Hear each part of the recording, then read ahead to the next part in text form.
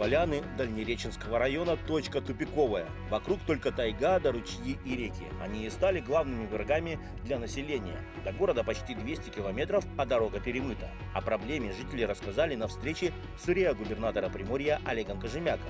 Оперативное вмешательство помогло устранить проблему. Дорогу восстановили.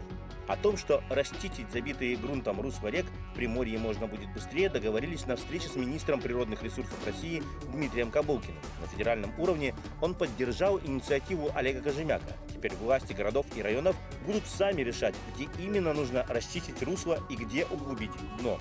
Уходят в прошлое и бюрократические процедуры. Раньше до полутора лет требовалось, чтобы утвердить только проектно-сметную документацию, а в это время города и села топило. Очень важно предотвращать не допускать э, вот этих всех наводнений для того, чтобы они создавали такой дискомфорт населению и многократно, год иногда бывает два раза. Вот для этого, безусловно, нужно заниматься расчисткой русел рек, дноуглублением, потому что реки меняют русло. Это специфика реки, она, в принципе, в любой точке Российской Федерации так себя ведет, и мы на самом деле в этом направлении нам предстоит еще поработать и дать возможно, как можно больше полномочий на муниципалитет, для того, чтобы это решать не в режиме ЧС после того, как произошло, а предотвращаем.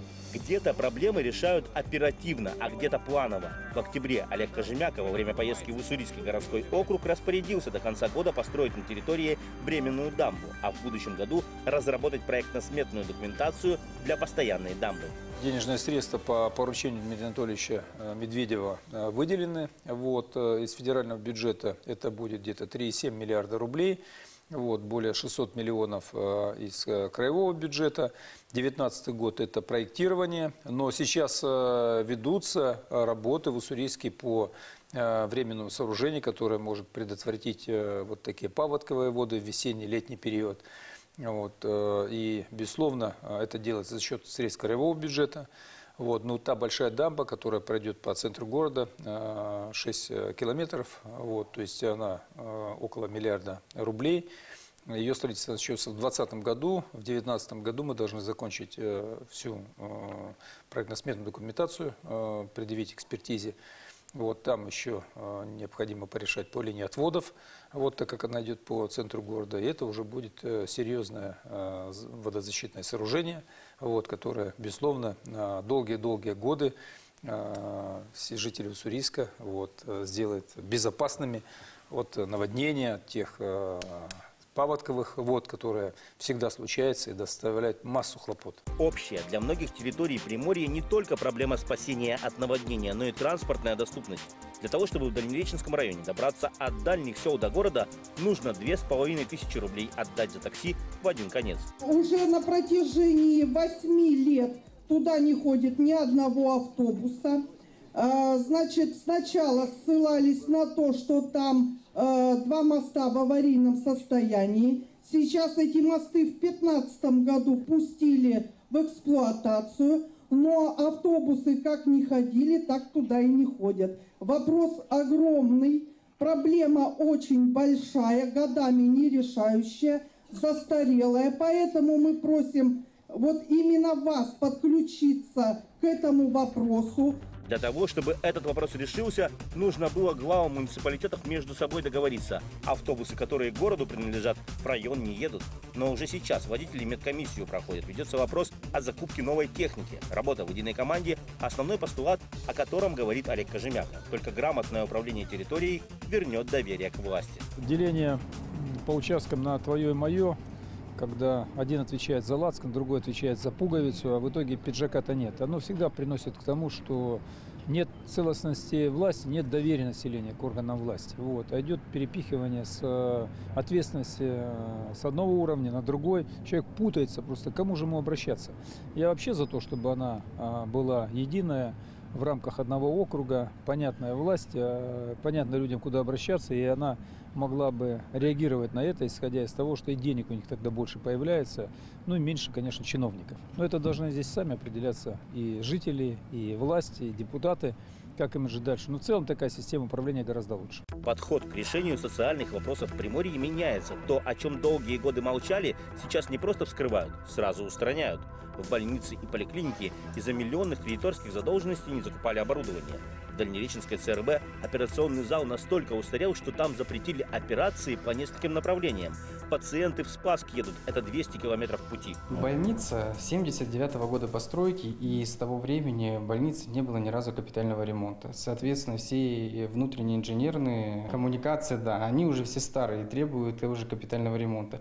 Мы действительно делаем ремонт э, своими силами частично в некоторых местах, то есть отремонтировали приемный покой, это внешне, отремонтировали приемное отделение для беременных, но все остальное требует действительно капитального ремонта, включая операционную, включая отделение реанимации и любые-любые, ну, все наши отделения. То есть там окна старые, нигде нет пластиковых окон, кафель везде ломается в отделении да, э, реанимации, кафель в некоторых местах уже падает в операционной, сами видите, да, что окна замены требуют. В принципе, операционная у нас не подходит по санэпид-режиму, и здесь необходима глобальная перестройка операционной.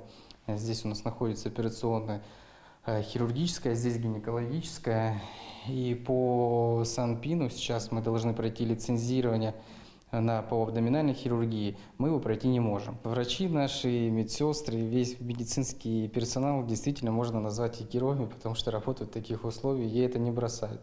Вот. Но опять же у нас средний возраст да, работников от 55 лет, э, и бросить все и уйти, ну, они уже здесь привыкли так работать, они никуда не уйдут, хотя многие уже на пенсию, конечно, порываются. Во время инспекции больницы Олег Кожемяка поговорил с врачами, рассказал о тех решениях, которые уже приняты для изменения ситуации в приморском здравоохранении. Из федерального бюджета после обращения в правительство выделено 2 миллиарда рублей на закрытие вопросов с задолженностью, 500 миллионов на закупку оборудования. Те же дальнереченцы получат маммограф и флюорограф, а в операционный ремонт сделают. Еще миллиард поступит в край по нацпроекту здравоохранения для переоснащения приморских больниц. Масштабные социальные инициативы, которые ранее Олег Кожемяка уже реализовал на Сахалине, теперь приняты в Приморье подъемные выплаты до 700 тысяч рублей, льготы при оплате съемного жилья и коммунальных услуг. И это только первые шаги. У врачей есть и дополнительные предложения для решения кадровых проблем. Может быть, ординаторов последних курсов на практику их сюда на год, на месяц три, Можно? то есть привозить, чтобы они ознакомливались, как им хотя бы показать, потому что многие не представляют, что их здесь. То есть я им объясняю, что здесь ну, есть то, то, то. У нас есть действительно лапароскопическая стойка новая для хирурга, оперировать, все. Здесь есть место, вот, и что делать развиваться здесь куда. Но они многие не понимают. То есть они считают, 400 километров это проблемно, это куда-то добраться проблемно, что-то здесь некуда пойти. Многие, многие не понимают, что такое дальневещие, что в принципе здесь есть все. Нужно их привести месяца на три, показать, показать работу, показать, что здесь есть. Олег Кожемяка дал поручение руководителю профильного департамента проработать этот вопрос и добавил, что уже принят пакет из шести социальных законов. Они касаются и педагогов. Для них и выплаты подъемных заложены, и социальная поддержка в виде льгот. Эту инициативу депутаты законодательного собрания утвердили 15 ноября а 28-го поддержали еще одну. Теперь увеличена оплата труда учителей и финансирование расходов на нужды образовательных учреждений. Закон будет действовать на территориях с нового года. Это беспрецедентная такая вот э, в данном случае поддержка, то есть меняются принципы начисления заработной платы, значит, э, определяются методики. Мы на эти средства закладываем на следующий год около 3 миллиардов рублей, как по дошкольному, так и по общему образованию. Значит, э, будет уже учитываться в том числе и северные надбавки 25% для сельских и территорий, приравненных к территориям Крайнего Севера. Поэтому мы надеемся, что вот, вот эти колоссальные средства значительно улучшат ситуацию для того, чтобы Э, наши педагоги действительно получали достойную зарплату, но и мы при этом будем э, уже и спрашивать за качество образования, что немаловажно. Другой закон говорит о том, что наставники будут получать и э, денежки, 5 тысяч в месяц тем кого-нибудь, наставникам для молодых педагогов. Выплаты рассчитаны на каждого педагога. Даже тот, кто пришел работать в сентябре, может рассчитывать на единовременное получение от 250 тысяч рублей до 440 в северных районах. Молодым педагогам будут доплачивать к окладу по 10 тысяч рублей каждый месяц. Норма действует в течение первых трех лет работы.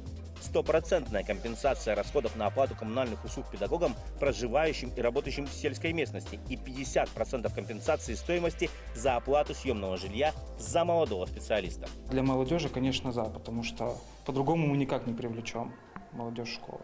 Поэтому огромное вообще благодарны всем, кто это инициировал, те, кто это приняли. Поэтому я очень рад за себя, как представитель администрации школы, за молодых своих коллег, потому что они придут, уже есть те, кто уже работает с 1 сентября, те, кто придут, потому что ну, это было необходимо. По инициативе Олега Кожемяка закон о мерах соцподдержки педагогов разработан специально для привлечения молодых кадров в школы. Эти нормы заработали во всех городах и районах края уже с 1 декабря. У нас коллектив 100% укомплектован, средний возраст 52 года. Ну, все равно же Ну, какая-то будет, э, естественно, естественно. скажем, уход на пенсию, Да. там, э, Мгм. какие-то процессы с тем, чтобы Да. можно было заинтересовать.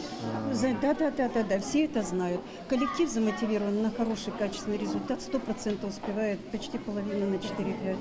Хорошо, Движения детские развиваются. молодцы. Условия комфорта создают не только для учителей, но и учеников. Увеличение нормы питания, да еще в два раза. Этого ждали долгие годы. А младшеклассники еще и стакан горячего молока будут получать каждый день. То, что будет разнообразие меню, вот на это как раз мы и надеемся. Сейчас важно, чтобы потребители, которые сотрудничают с нами, работают, э, продумали именно качество приготовления продукции и плюс э, разнообразие меню, чтобы ребенок с удовольствием питался. За исполнением каждого закона стоит контроль. Олег Кожемяка чиновника оценить сможет. Дневник специальный есть. Хочу подарить вам дневник, чтобы вы записывали работу начальников и страивали их оценки.